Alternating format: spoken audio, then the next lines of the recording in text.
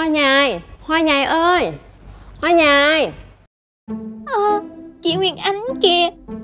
Ừ, Mình xấu xí Mình không muốn gặp ai hết. À Hoa nhài đây rồi.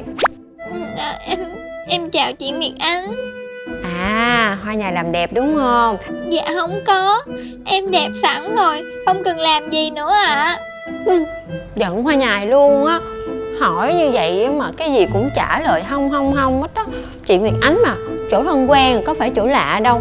Vậy mà không nói cho chị nghe à. Ừ, chị Nguyệt Ánh đừng có giận em. Em có chuyện khó nói mà. Chuyện này chỉ có chị Nguyệt Ánh và Hoa Nhài biết thôi nha. Hứa với Hoa Nhài luôn chị Nguyệt Ánh không có nói cho ai nghe đâu. Tin chị Nguyệt Ánh nha. Mặt em toàn là nhọt là nhọt không nè. Xấu quá trời luôn Em buồn quá đi. Ê trời ơi Cái, cái mụn nhọn của em hình như đang sung đỏ lên kìa. Nó làm em nhức và ngứa lắm luôn á. Chị Nguyệt Ánh tìm hoa nhài có chuyện gì vậy? À mấy hôm nay nè Chị Nguyệt Ánh không có ngủ được Cho nên định qua đây xin mấy cái hoa nhài tươi Rồi để ở đầu giường cho nó thơm cho dễ ngủ á mà. Dạ được Chị Nguyệt Ánh theo em ra vườn hái nha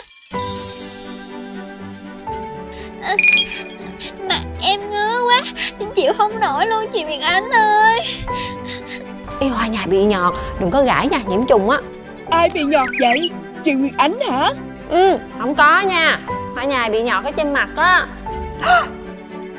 Ừ, Xin lỗi hoa nhài À chị Nguyệt Ánh bị lỡ lời. Hey, Trời nóng như vậy á Là dễ bị u nhọt lắm nha. Mặt con đau và ngứa quá đất tư khỏe ơi Đất tư khỏe giúp con. Con sợ xấu lắm. Con không được nặng gãi lên dùng có nhọt Chỉ làm da đau nhất chảy máu thêm thôi.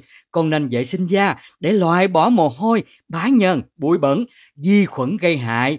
Dùng khăn sạch thấm với nước vừa đủ ấm rồi đắp lên da khoảng 15 phút, làm khoảng từ 3 đến 4 lần một ngày.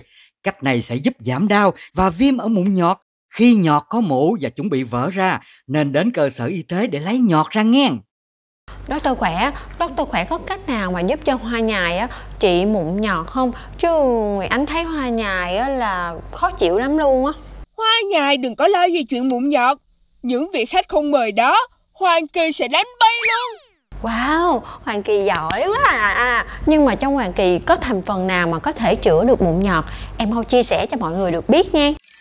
Theo đông y, em có tính ấm, vị ngọt, trong em có thành phần tinh bột, proteolynoleic acid, choline, beta sitosterol, protein.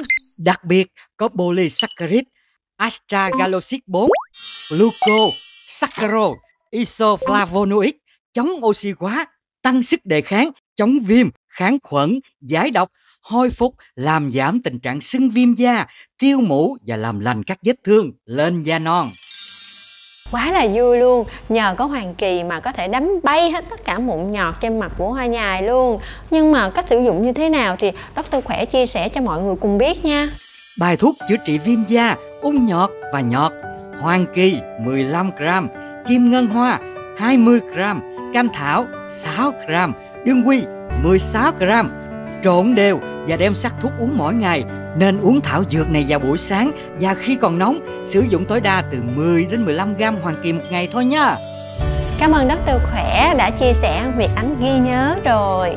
Khán giả xem đài lưu ý nên sử dụng vị thuốc hoàng kỳ theo hướng dẫn của thầy thuốc mới an toàn và hiệu quả nha.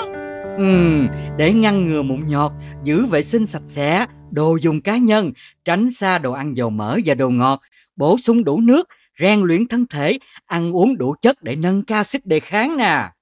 Nếu trong vòng 2 tuần mà mụn nhọt không thuyên giảm á, thì hãy đến bác sĩ để được điều trị phù hợp nha. Còn bây giờ thì thời lượng dành cho chương trình đã hết. Xin hẹn gặp lại quý vị khán giả trong chương trình lần sau. Xin chào. Bye bye, bye, bye khán giả.